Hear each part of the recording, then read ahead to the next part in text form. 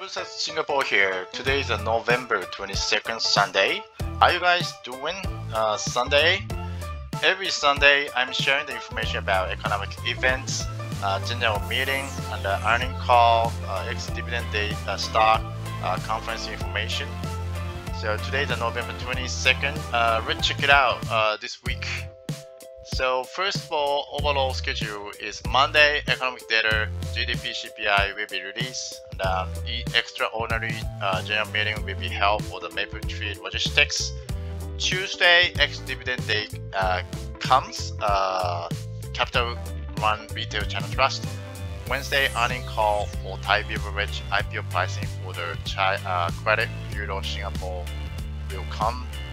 Thursday, economic data for the industrial production will be released.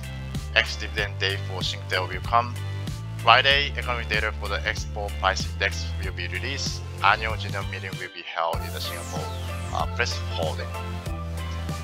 Okay, let's look at the uh, one by one. Uh, GDP currently is a Q3 GDP year-over-year basis forecast minus 5.4% so negative uh, growth basically the uh, stuff from the March.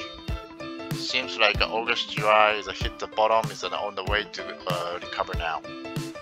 CPI consumer price index year over year basis is a start going down from the May or April. Then the seventh straight uh, months is a now is a negative range. Is it's called like a deflation now you can find out the more details in the consumer price index in the uh, website uh, of the Department of the Statistics Singapore.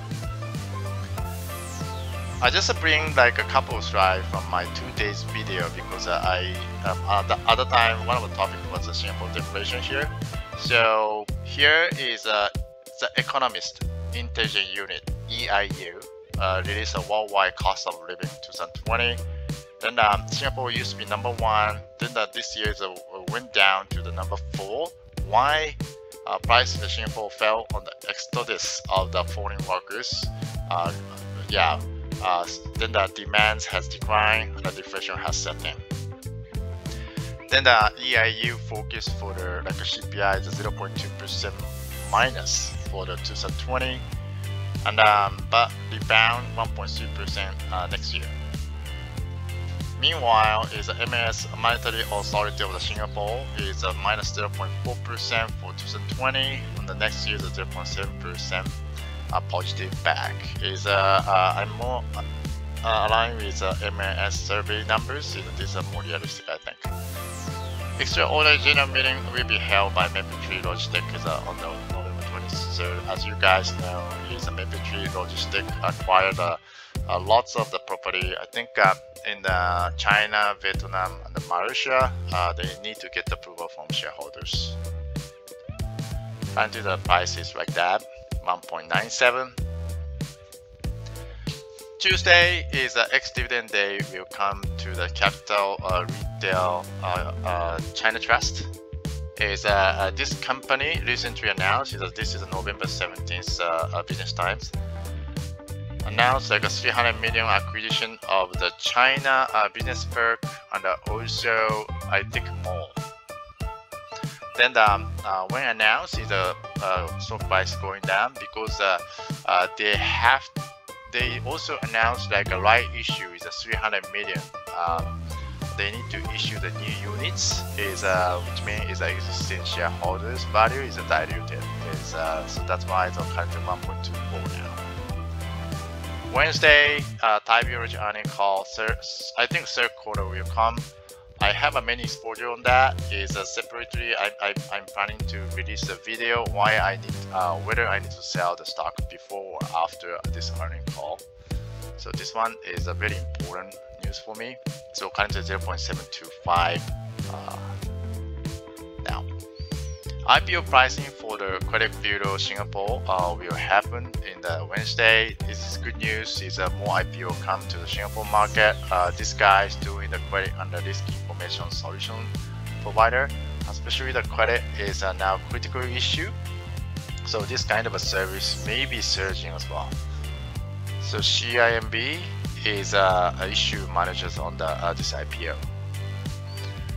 Thursday, uh, man manufacturing the product index will be released. So this is the EDB, Economic Development Board of the Singapore website.